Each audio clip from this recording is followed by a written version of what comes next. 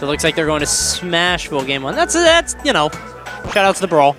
That's what we did. All right, so Seagull uh, opted to play uh, Ivysaur. He said he likes playing Ivysaur because it reminds him of the way he plays Wolf, which is basically just uh, doing a bunch of moves that allow you not to approach.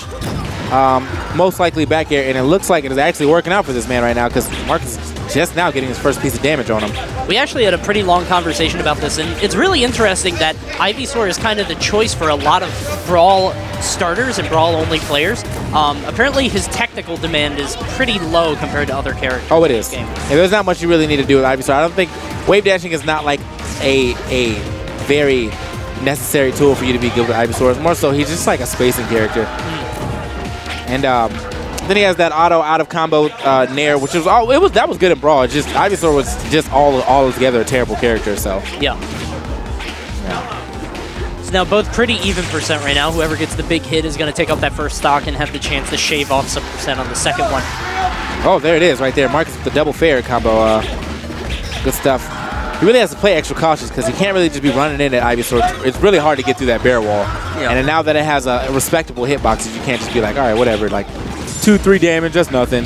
And it also, it, it does kill it um, after a while. Okay. All right, yeah.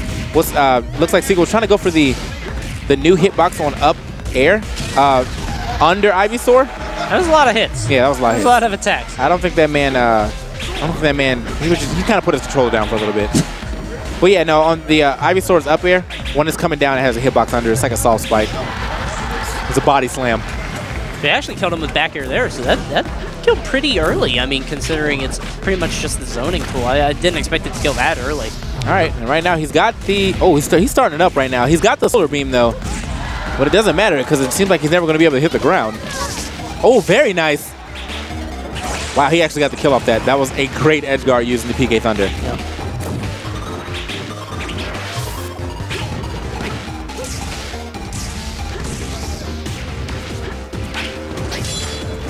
Looks like a Pink Fresh side. Oh, thought he was going for the Solar Beam. That would have been a... Actually, don't think it would have killed, but it would have been a nice amount of damage. All right.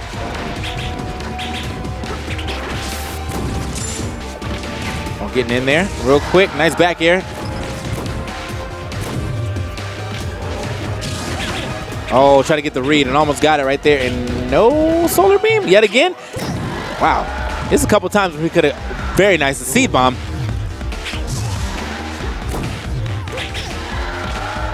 I'm respecting the recovery right now from a Seagull. He's actually making it back. Oh, that's done. That's done. Yep. That's first game. And Seagull just rage quits out real quick. I missed the rage quit the first time. He got it the second time, though. So I think he wanted to make sure he was going to die, but Ivysaur is a weird. Ivysaur, Ivysaur's light. Ivysaur is just light. Very floaty, very light. Dies up smash, uh, up throws very easily. And we got the switch over here to Pokemon Stadium 1. I don't know if they if he actually counterpicked this or did they just go ahead and hit random. The stage like, it, it, it, was probably a counter pick just because I know Seagull's really comfortable with the stage in uh, Brawl. I, I, don't think he knows probably yet all of the Project M exclusive stages like WarioWare and you know the new Sky World, stuff like that. This stage kills me for the sole fact that like I put uh, Ken's theme on it, but it, it's it like the beginning of it definitely sounds like a Pokemon song. Well, the whole thing sounds pretty Pokemon-y, honestly. Yeah. yeah. that's what I was thinking. So yeah, I got, I got I got some good choices sometimes.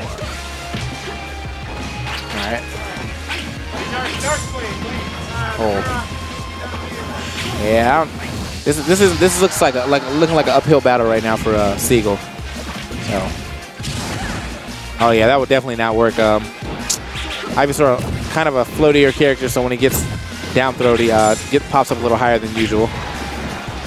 That doesn't work on a lot of characters, to be completely honest. And when it does, mm, nice, out of shield. What a punish.